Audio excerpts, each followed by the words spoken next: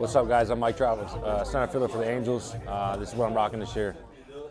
These are my custom SMUs. Shoes, Are these the these are the ones you're gonna be wearing in the game? yeah.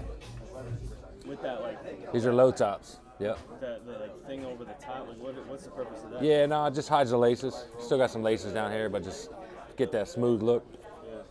And then I got these uh, custom glasses, Nike glasses. A little two seven on the side. You know, two seven on. yeah, two seven right there, engraved. Oh wow. Yeah. Going with more navy look this year, mixing some navy in there. So, yeah, this is what I'm rocking on the roads. These are ones I'm rocking on the road. So.